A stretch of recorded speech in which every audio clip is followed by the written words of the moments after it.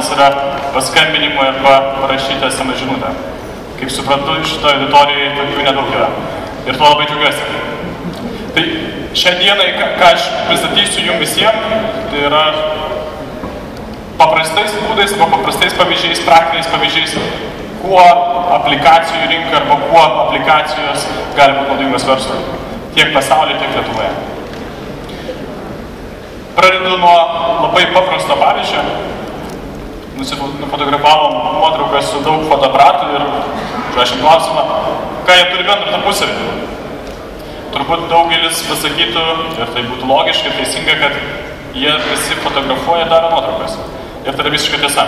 Bet yra dar vienas dalykas, kas yra visiems būdinga fotoaparatam, tai kad jie atlieka pagrindinę funkciją, o tai yra nuotrauka arba kadrą vieno mygtuko paspaudimu.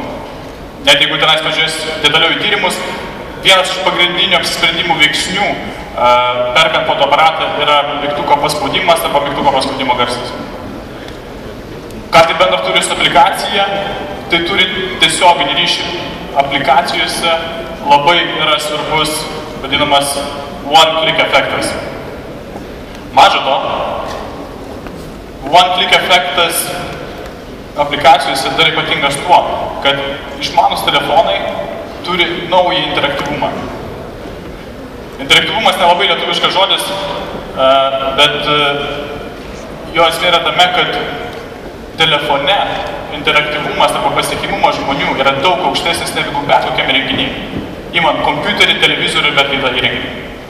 Nes jis yra visada šalia žmogaus, visada yra aktyvus, visada yra pasiekiamas, netgi nustatomas pagal vietovę. Taigi vartotojas gali tvarkyti banko sąskaitas, rekomenduoti, pirkti, dalintis atsiliepimais, atlikti užsakymus, būti socialiniuose tinkluose, praktiškai viską. Išmanus telefonas, o vėliau dabar pasirodė tabletai, pilnai gali pakeisti kompiuterį. Ir jie yra portabilus ir, ir tuo pačiu yra labai interaktyvus.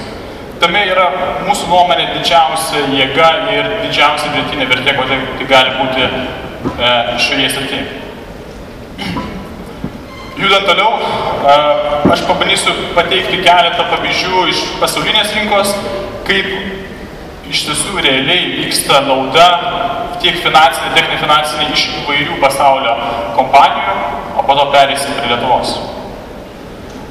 Prieš perinant prie tos dalies, filmuke matėt e, keletą nuotraukų iš Haičio. E, labai didelis prašymas visų ir, ir turbūt visada supras, tai, kas vyksta Japonijoje, yra iš tiesų didelė tragedija ir matėte daug stovi merginų su raudono kryžiaus maikutėmis, tai nepatikėkite, reikia prie jų paskirti kažkokią paramą, aš manau, tai yra svarbu ir, ir svarbu palaikyti mūsų brolius Azijoje šią sunkią minutę. Taigi, perinam prie konkrečių pavyzdžių. eBay. Turbūt nėra šiai salėje žmogaus, kuris nežino, kas tai yra, arba nėra naudojusis bent viena šio elektroninio aukciono paslauga. eBay prieš keletą metų pagamino savo aplikaciją, ją pristatė vartotojams ir štai kokiu rezultatu jie pasiekė. Jie šią dieną turi jau 14 milijonų susitikimų, 9 metais pardavė 600 milijonų dolerių, šiais metais pardavė už pusantro milijardo dolerių. Įspūdingi skaičiai, jeigu galite žiūrėti į tendenciją, galite įsivaizduoti, kokie skaičiai bus šiais metais ir kokie skaičiai bus sekančiais metais. Tai gali būti keliolika arba keliasdešimt milijardų dolerių. Jau kitą pavyzdį Starbucks, jo nėra Lietuvoje, bet irgi turbūt nėra žmogaus, kuris nežinotų šitą tinklą. Jie yra unikalūs tiek savo kava, tiek aptarnavimu, tiek požiūrį į ekologiją ir įmonės valdymą.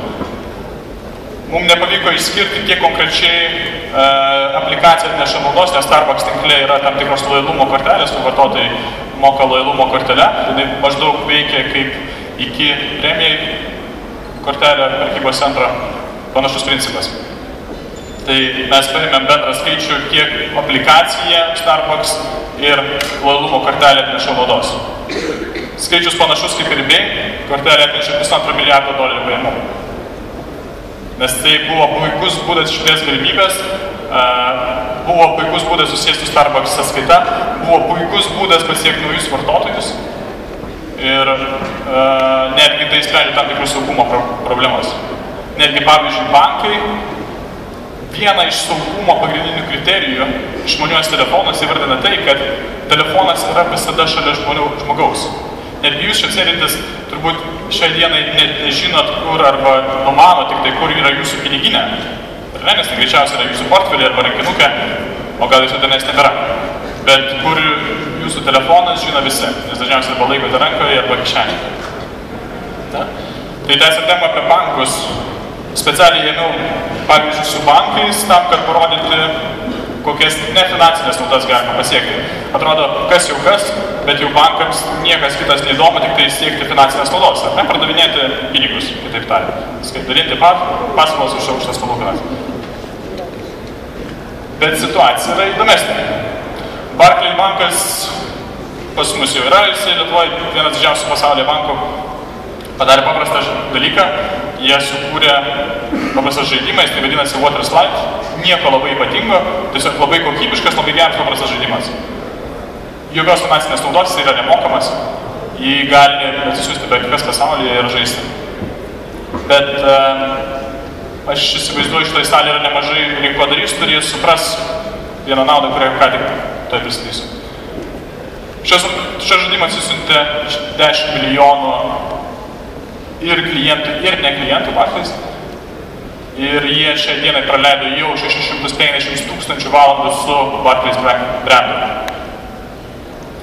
Lik ir nieko tiesioginį finansinės naudos nėra, bet iš kitos pusės, kiek tai kainuotų investuoti į reklamą, į televizinę reklamą, į alternatyvę reklamą, kad pasiekti tokį matomumą.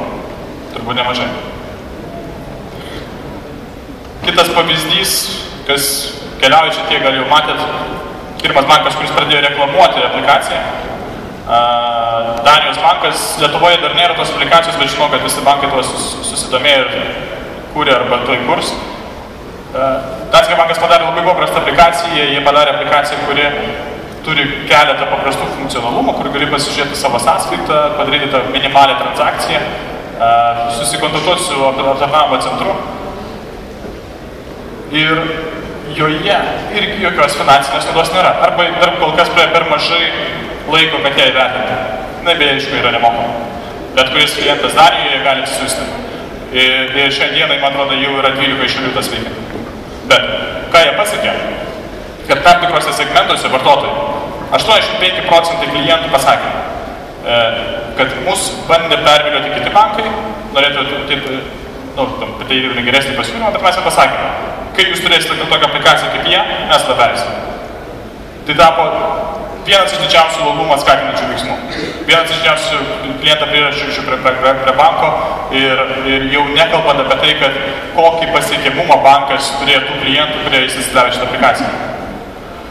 Gauti grįžtamą į ryšį, gauti vartojimo tendencijas. Ta?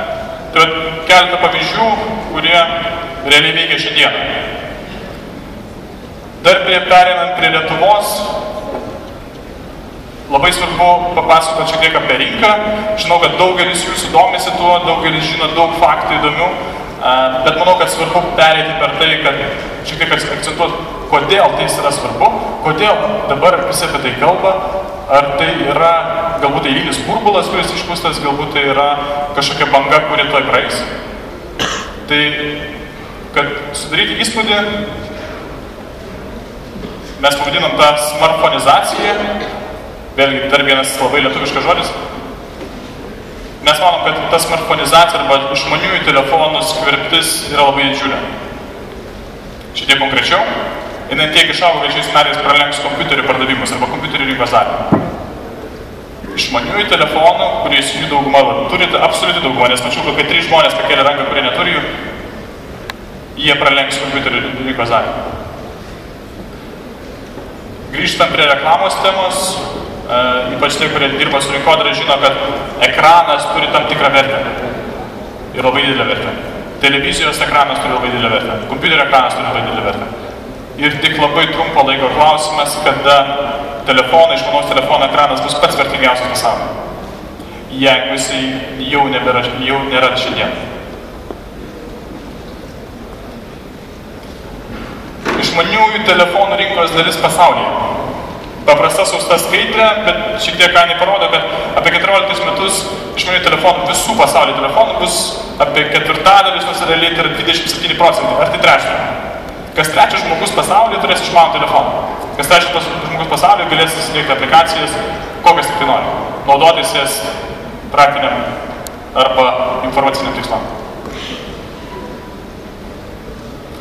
Programėlių paplitimas, dar įspūdingesnė skaičiai. Dešimtais metais atsisiųsta programėlių 15 milijardų vienetų. Čia yra ne rūšių programėlių, bet atsisiuntimų skaičius. 12 metais tas bus 50 milijardų. Tie milijardai, milijardai, milijardai, jie skamba galbūt taip labai išpūstai ir sunku net su kažkuo palyginti, kas tai yra. Čia yra labai daug, nes skaičiai yra nu, nesuvokami dėlį. Kad palyginti yra vienas paprastas pavyzdys. Šiais metais aplikacijų rinkos vertė bus apie maždaug 30 milijardų dolerių.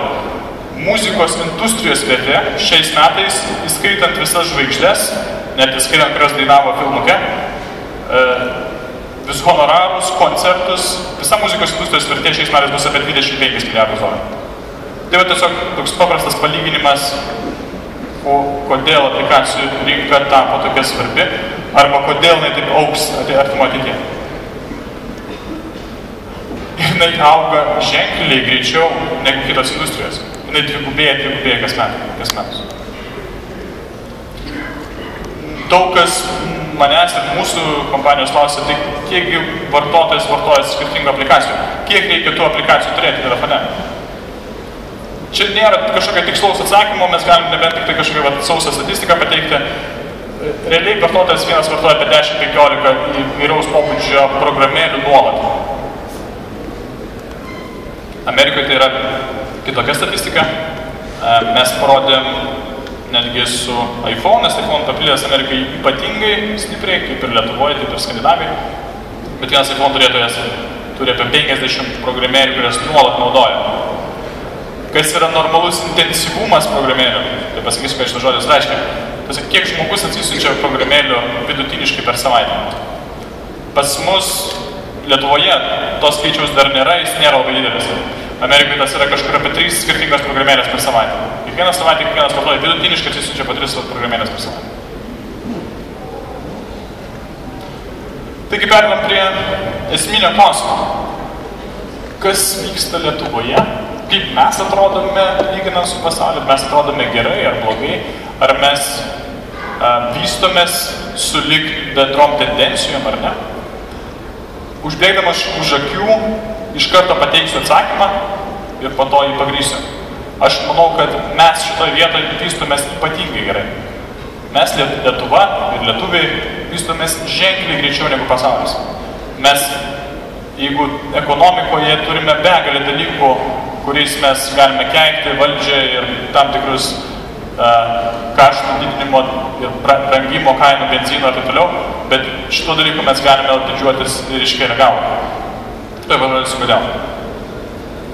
Šiai dienai, arba tiksliau 2011 metų pabaigoje bus apie 400 tūkstančių žmonių, kurie turės išmaniosius telefonus. Tai yra pakankamai didelis skaičius, žinant, turint omeny gyventojų skaičių ir gyventojų vidutinės pajamas. Šiandienai mūsų pardavimai sudaro daugiau negu 50 procentų išmaniai telefonų. Ką tai reiškia, kad mes jau daugiau parduodame išmaniųjų telefonų negu neišmaniųjų. Jeigu pamenat, pasaulinė tendencija 2014 metais bus 27 procentai. Pas mus šią dienai metų gale bus tas 75 procentai. Mes šią dieną lenkiam pasaulyje penkis kartus kažkur. 14 metais mes dar vis apie lenksim. Perėsim dar daugiau konkrečių pavyzdžių, bet šitoje salėje turbūt ir nemažai žmonių, kurie kūrė aplikacijas, jie žino puikiai, kiek tai kainuoja, o tai nėra didelė investicija. Ką tai reiškia įmonė Lietuvos? Tai reiškia, kad jeigu įmonė susikūrė aplikaciją, jinai nu, teoriškai, jeigu esi vieno mygtuko paspaudimu, gali pasiekti 400 tūkstančių vartotojų. Kaip pavyzdys, investavus 10 tūkstančių litų, o tą investiciją gali padaryti net smulki maža įmonė, namų ūkis, kirpikla, kepiklėlė, gali pasiekti 400 tūkstančių vartotojų. Nemokamai. Net jeigu tik vienam procentui iš tų žmonių ta aplikacija bus įdomi, net mažai įmonė to užteks, kad, pavyzdžiui, savo pajamas padidinti du kartus.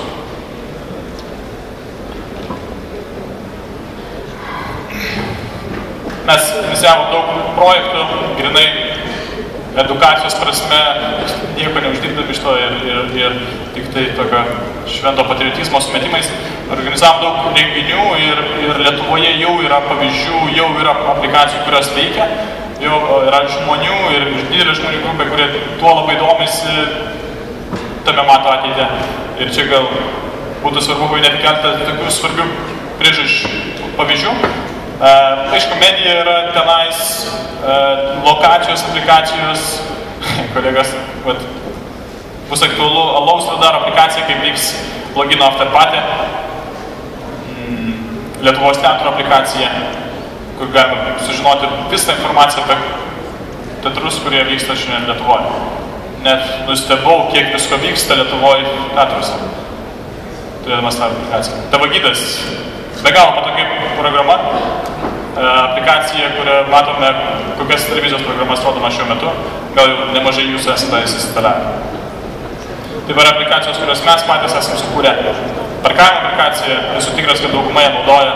Ir to, kad žiemą šaltom rankom mėtyti monetas į aparatą, galima tiesiog automobilyje šiltai susimokėti arba papildyti dar sėdint kažkur ofise ar patalpoje. Mes jau šiandien paleidom Wi-Fi aplikaciją, kuri suteikia visiems Autodel vartotojams galimybę visuose Zebra Wi-Fi taškuose prisijungti prie Wi-Fi nemokamai. Mes laukiam daug klausimų, sakykime, bet jeigu mes atsisiunčiame daug duomenų, jeigu net jeigu siunčiamės filmą, uh, visi bijo, kad tai daug kainuos. Šią dieną tai gali nieko nekainuoti absoliučiai. Pas yra visos sąlygos naudotis savo aplikacijų galimybę. Tai mes turim savo aplikacijų portalą, kurį nuolat naujiname ir sudedame visas bei šimties aplikacijas, kurias yra sukūrimas Lietuvoje. Taigi, apibendrinus šiek tiek, kas yra Lietuvoje.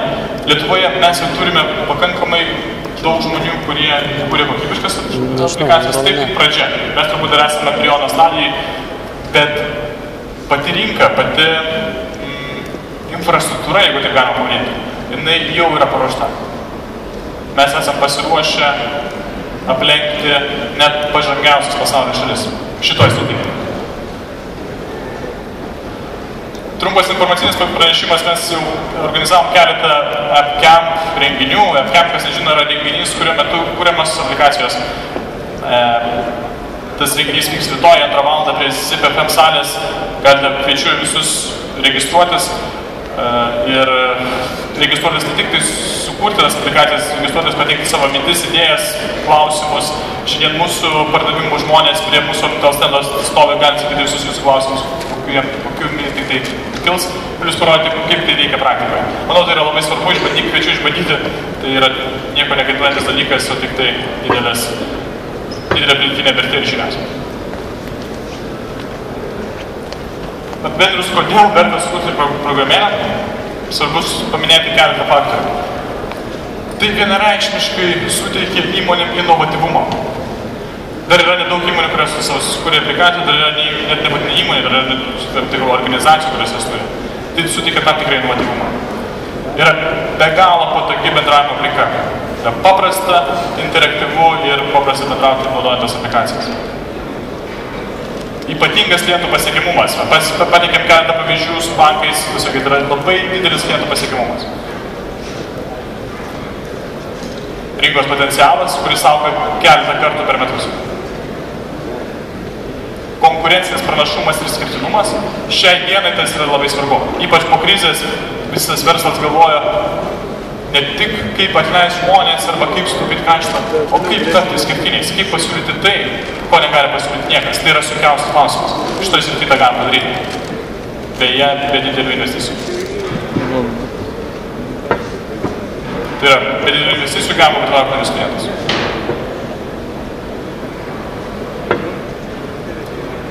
Koks mūsų vaidmuo šiame ir kaip mes galime prisidėti, mes galime užtikrinti, kad sukurtas programėlės per šitas appcampus pasiektų iš karto apie 250 tūkstančių vartotojų.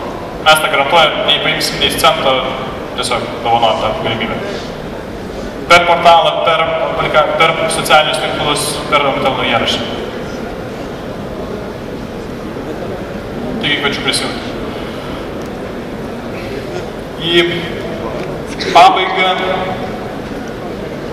su, vat, sėdėdami su kolegom šiek tiek nutarėm pasvajoti arba realistiškai pasvajoti ir uždavėm savo klausimą, kas jeigu Lietuva taptų Europos silicijos slėnis? Galinga idėja, skamba kaip misija neįmanoma, ar ne? Turbūt Kalifornija, kur yra silicijos slėnis, jeigu Kalifornija paimtų kaip atskirą valstybę, tai taptų penkta ekonomika pasaulyje. Ne, tai tas silicijos slėnis tam tokį įtaką turi. Bet kaip pasižiūrėti detaliau, yra labai daug sričių, kur mes Lietuvoje esame numeris vienas arba numeris du pasaulyje. Ir tai nėra iš pirštų laukšti faktai. Puikiai žinote mūsų pasiekimus lazerių technologijos ir biotechnologijai, dabar aplikacijų srityje. Buvo neseniai susitikimas Skandinavijos šalių ir Baltijos šalių premjerministrų pas Jameso Cameroną. Taip pat dalyvavo daug atstovų iš verslo pusės ir pasibaigus tai pristatymui Cameron uždavė klausimą, tai kokie vat, du punktai iš viso susitikimo prisiminimo apie Lietuvą? Cameronas atsakė, Lietuva yra turinti geriausią interneto prieimimą pasaulyje ir tai yra numeris du pasaulyje, kas liečia aplikacijų vystymą. Žinoma, Gedžiars ir jos vadovui Lėja Laursu prieš akį įtaką čia yra labai didelė. Didelė pagarba jam. Bet tas jau išsakyta Anglijos premjerministro. Stipri žinia. Ir manau, verta šitoje vietoje susimastyti. Ne? Netgi realu, kad Styvas kitais metais pasakytų, kad Lietuva yra labiausiai inovatyviausia šalis aplikacijų srityje. Ar tikite tuo? Aš tikiu. Bet tema yra labai didelė. Ne, ne, nekviečiu ją diskutuoti, labiau, kad logino koncepcija yra kitokia, jis net nėra galimybės užduoti klausimų ir atsakymų. Mes sudėjome į linką, kur galite išsakyti savo nuomonę, komentarus, e, užsiregistruoti ir pavystyti šitą temą. Mielai prisijungsime ir pasidalinsime tomis žiniomis, ką turime. Ir tikiu, kad čia mes sukursime ne tik tai skirtinumą versle, bet ir Lietuvos skirtinumą pasaulyje. Ačiū uždėmesi.